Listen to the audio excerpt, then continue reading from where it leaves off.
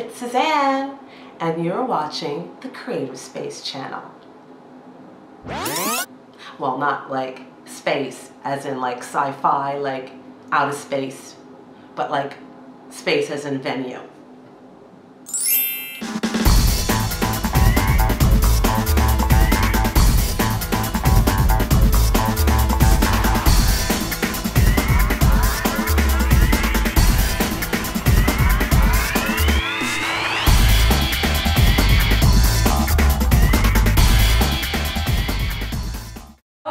Okay, let's get to it. I'm going to answer some questions for you today. Um, I get a lot of questions about this one topic. And it's a topic that all of us actors deal with. Can you guess what it is? Can you? No? Nerves. Correct. Nerves. Now, all of us feel it it's totally natural. Even Meryl Streep feels it. We get nervous when we have to audition, okay? Audition nerves.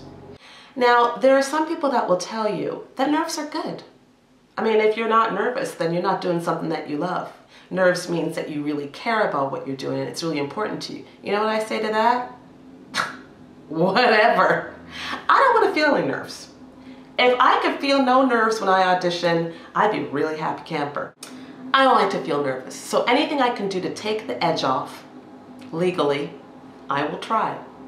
So the, over the years, I've come up with a lot of things that work for me.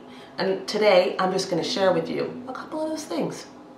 And there are two things that anybody can do, and it's very, very easy. And it may seem very, very simple, but it really does help. I like to call them pearls, pearls of wisdom.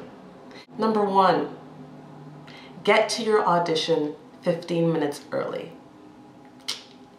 I know it sounds kind of like silly, kind of easy, but it is. You know, when you're auditioning, there's a lot of um, anxiety and, and, you know, uh, your energy is really, really high when you're in the room. So you want to cut down any kind of stress that you're going to feel before you go there because it's just going to get worse when you're nervous inside the room. It's going to make you even more nervous. So getting to your audition should be an easy thing. Map out the day before how to get there. If you drive, map it out. If you take the bus, then check the times. Because if you get there 15 minutes early, if you have a leisurely um, uh, trip there, then it really cuts down on stress. And let me tell you, if you're going to an audition that's like a commercial audition, um, it's happened many a times where, you know, your agent or the information that you got was just go there at this time. And uh, you get there and you sign in and you notice on the desk and on the wall, there is a whole storyboard. And on that storyboard, you actually have lines. Correct things you have to memorize and things you got to say in that room. And you weren't told that ahead of time. Sometimes it can make you panic. And let me tell you, if you just get there on time and they're ready to take you in and you haven't read any of that stuff, you're toast. well, you're not really toast. I mean, maybe you can, you know, deal with it in the room, but why do you want to put yourself through that stress? Get there 15 minutes early. You get there 15 minutes early, you saunter in. Oh, lines, cool. You go take the lines, you go outside, you go over them, you run them. It's all good. And you'll have some time to spare. You can go inside the bathroom, you can powder down, get rid of any shine, you can fix your hair if it's gone out of place, which it wouldn't have because you kind of sauntered over to your audition. You got 15 minutes, it's all good.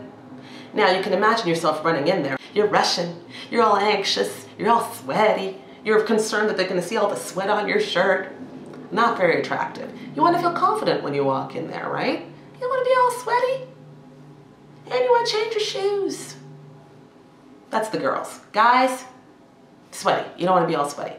And for those guys that, you know, wear some makeup, and some guys do, and I'm all for that, get rid of those dark circles.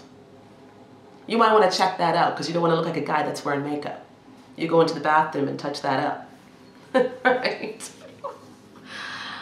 Now when it comes to film and television, I know what you're saying. Well, that's not going to happen in film and television. Well, let me tell you something. Sometimes that does happen in film and television. When you're going into an audition and you're all prepared and you've got all your sides and all that there, and you're on time, you're ready to go, and your casting director says, Do you have the new sides? New sides? There's new sides? Oh, yeah, didn't you get the new sides? Um, no? Well, there's new sides then what are you gonna do? You're gonna have to wait, you're gonna have to have somebody, you're gonna have to ask somebody else to go in ahead of you, you're gonna feel like a doofus, you know? And you're gonna be nervous because you haven't seen these sides.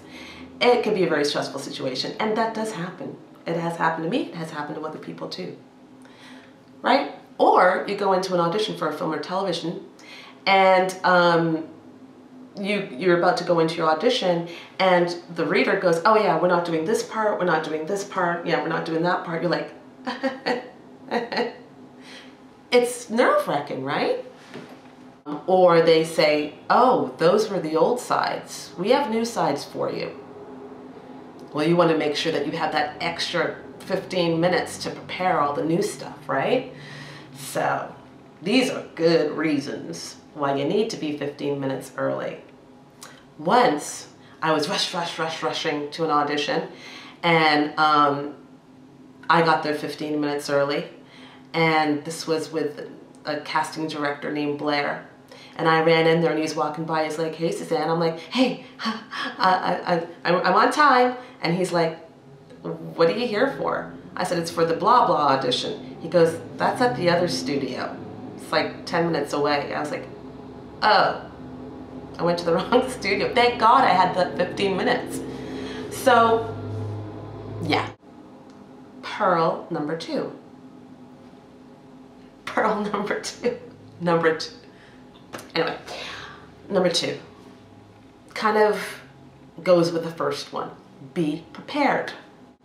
Be prepared.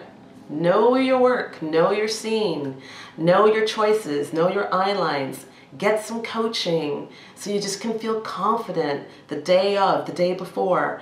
Um, you know, get a friend, do your run the lines with them. The more you can run it, the better, in my opinion. Being prepared is the best way to combat nerves. You know, there are some people that say, oh, I don't, I don't have to prepare, you know, I just go in there and do it. Well, those people are bionic, you know, because that's it's a difficult thing to do. Um, but for the rest of us, preparation is just a blessing. It's a fantastic thing to be prepared when you go in for an audition. You want to feel free to play and to take redirection. So, there you have it. Two pearls of wisdom, easy peasy, you can do it. And uh, if you do these two things, it will definitely help to take the edge off any nerves or anxiety when you go into an audition. So I know I probably rambled on quite a bit, but I'm very passionate about those two things. And um, I hope this helps you. I hope you go in there and create and have a really good time because that's why you're doing it. You're doing it because you love it and you're good at it. So good luck. If you have any questions at all that you would like to ask me, just leave them in the bottom bar. I'll answer your questions for you in the next installation of uh, auditioning, questions for auditions. And um, yeah, I hope to see you next time. If you enjoyed this, share it, share it, like it.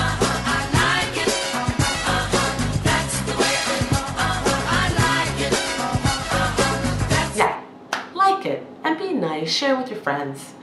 Um, and we'll see you next time. Bye for now. Happy auditioning. Hey, are you a talented teenager who has a passion for acting? At the Creative Space is holding a wicked workshop. Check it out at thecreativespace.ca.